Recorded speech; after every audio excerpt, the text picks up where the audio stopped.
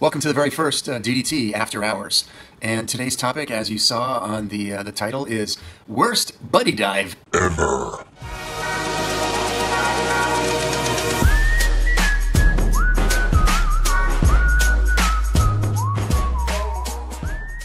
But let me paint the picture.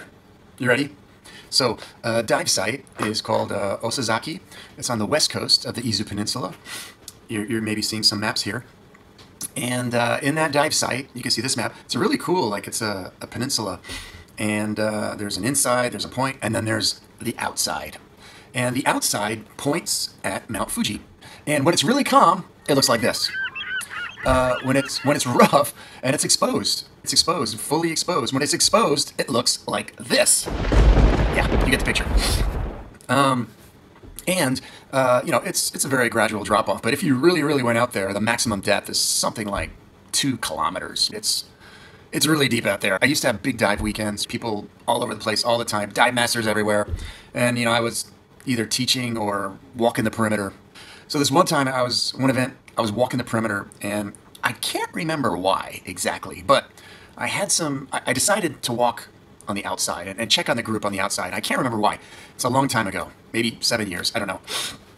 It might have been because uh, the outside, the conditions could kick up really suddenly because they're exposed.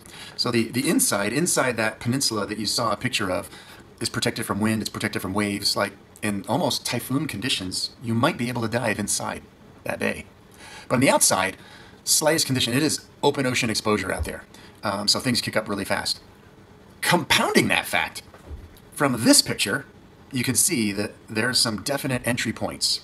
And if you don't come in those exit entry points, between those points are just boulders. Scraggly boulders with barnacles and sharp edges and, and waves washing in on you, smashing you into the boulder. Smash, smash, right? It's, it's a terrible, terrible situation.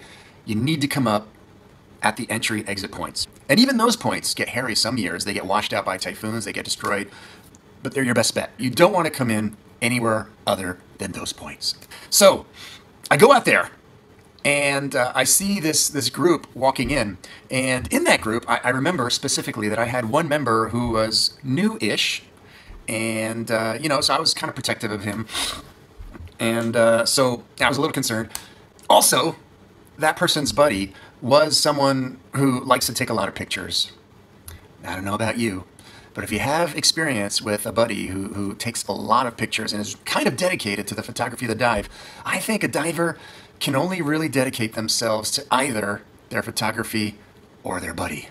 It's very difficult to dedicate to both, my experience. Your mileage may vary. So, I'm there. The group comes walking up that rocky slope, right? One of the good points. And, uh, you know, I could see it's, it's waving up out there. It's looking a little bit ugly. And uh, this diver, who was the photographer, I'll call him uh, Diver X. Right? Diver X. So Diver X is walking up and walking up the slope. And I notice that Diver X is uh, absent a buddy. The buddy I was telling you about that I was concerned about. And I was like, I was like looking around. I was like looking in the water. Maybe he didn't come out yet. I was like, dude, Diver X, where's your buddy?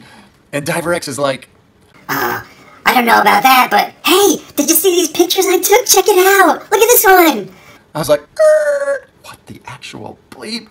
And I'm like, Diver X has no buddy. And dude, I look, I look down the rocky, forbidden, wave crashing shoreline down there, and way down there, I see like like one of those Galapagos lizards, like scrambling on the rocks. I see the missing buddy, like a half a kilometer down there, 400 yards, a half a kilometer for sure, half a kilometer, s- scrambling out of the water like like a creature like in need, man, and no equipment.